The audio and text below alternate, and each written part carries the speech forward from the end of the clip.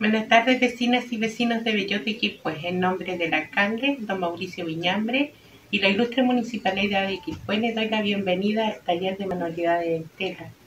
Esta vez vamos a confeccionar una linda bailarina para las piezas de las niñas. Ya chicas, les paso a presentar los materiales que vamos a necesitar para este proyecto. Van a ser pañolensi, eh, tres tonos o dos tonos según lo que ustedes deseen, lo que tengan en casa, por supuesto, una tijera, un lápiz para marcar los alfileres.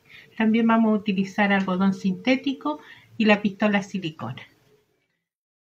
Bueno chicas, acá les presento, acá yo ya puse el molde en la tela, ustedes lo marcan y lo cortan a ras porque lo van a coser a puntada a pestón. Todo esto va a mano, no hay nada que vaya cosido a máquina.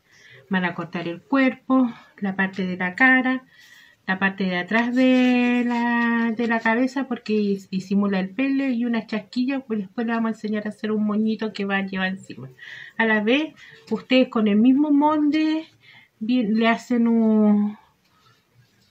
como se me fue el nombre, pero es la vestimenta de la bailarina y después viene un tutú. En el paso siguiente mostraremos más adelantado la, esta muñeca.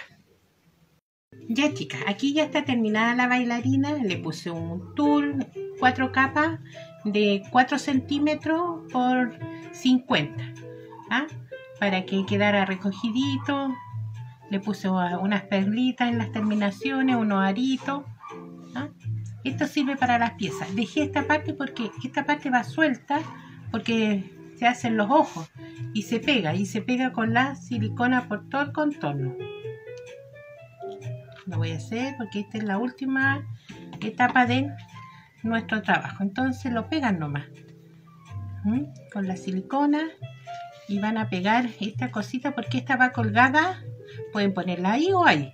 yo la voy a poner en este sector porque estaban pegadas en la pared de, las piezas de las niñas o de, los de las bebés.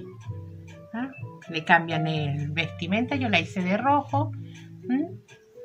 Entonces este es mi proyecto, espero que le haya gustado. Eh, gracias señor alcalde y a la ilustre municipalidad de Quilpué por estos videos y estamos en compañía con ustedes.